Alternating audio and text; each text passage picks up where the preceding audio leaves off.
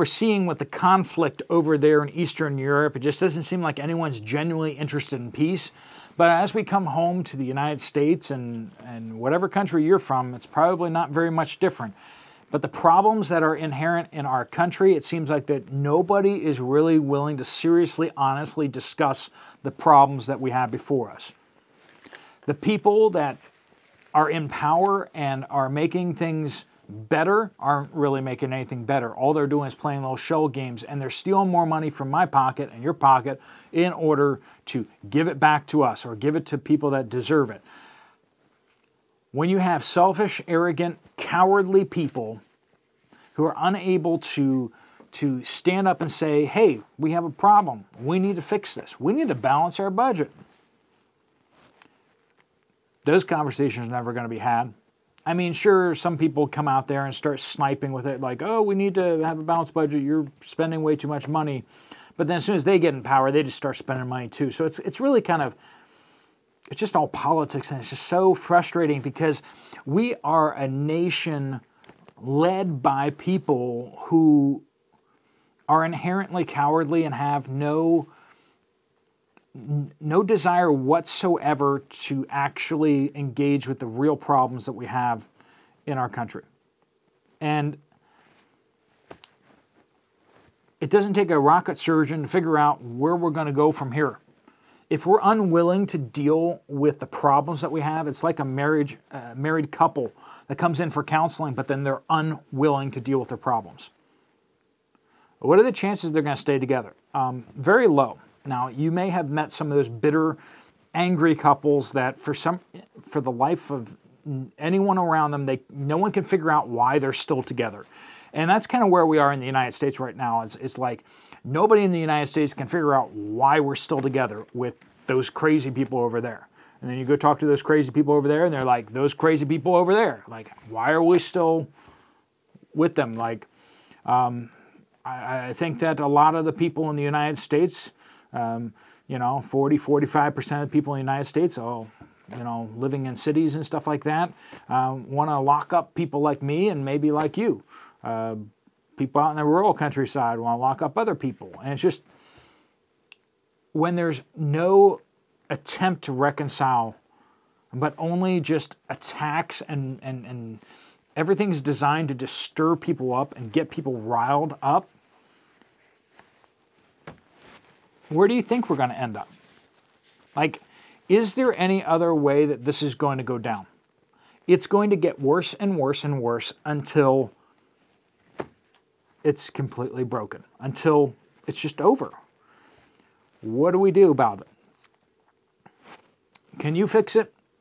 Can I fix it? I don't think so. I mean, we can maybe be part of a solution locally where you are, like your local officials. Um, be very concerned about who's on the school board. Be very concerned about who's actually in the, the lower offices around you because those people are going to impact your life. And you might actually have a chance to kind of impact them. And believe me when I say this, you showing up at a, polling place and voting on election day, um, I think a lot of us kind of already get that that's not very effective getting in to the process early, helping the good people get onto the ballot, helping the good people get past the primary. That that makes a bigger deal because just because they have the right letter behind their name doesn't mean they're going to be doing good things for you or really standing up and having courage. We're coming to a point where we need some people to stand up and go into public offices that don't want to go into public office. And when they do, they're not career politicians. They don't know all the ins and outs of everything. They're going to need a lot of help to get in.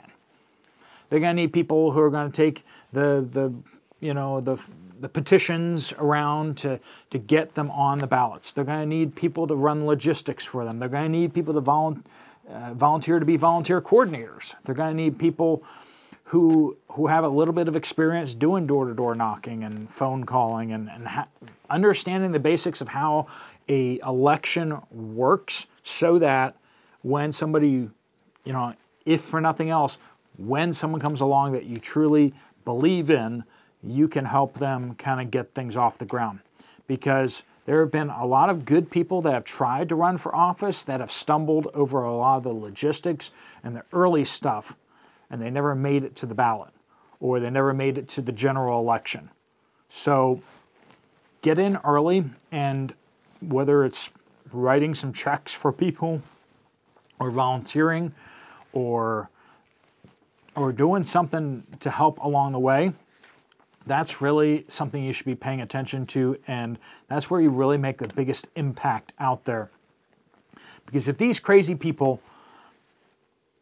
remain in charge um, they're like the titanic racing over the ocean steering towards every iceberg they can find um, and that's that's where we are right now and it's just a matter of time before we all go under with them because they can't they haven't seen a project that they didn't want to throw money at.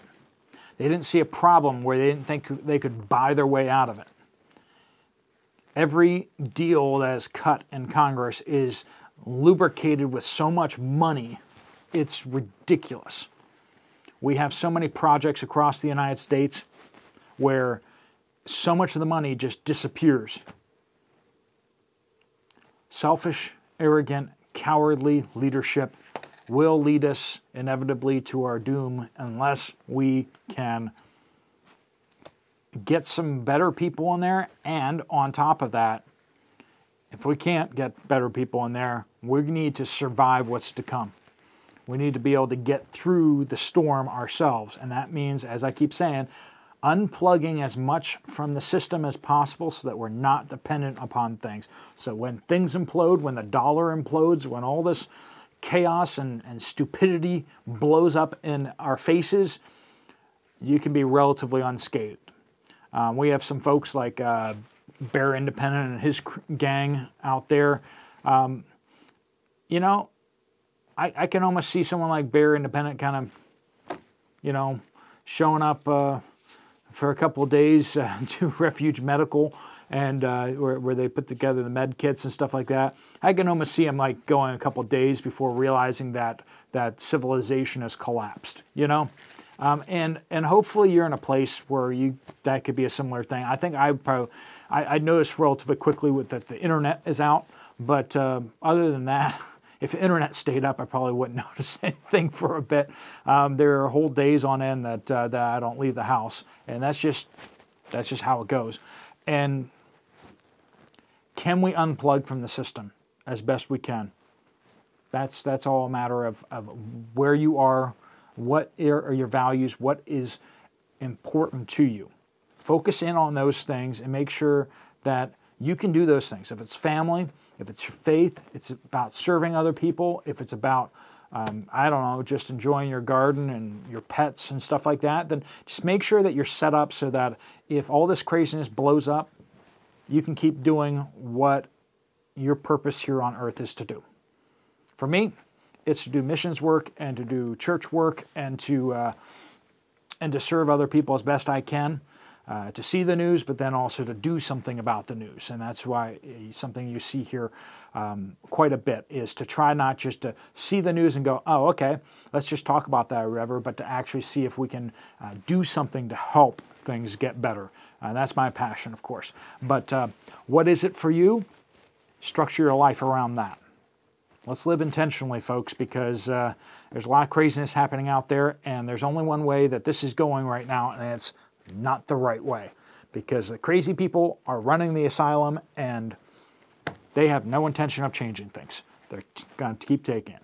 All right, folks, if you found this video useful, helpful, um, you might want to check out this other video from me right over here. I'll see you over there, or I'll see you later, Steve Poplar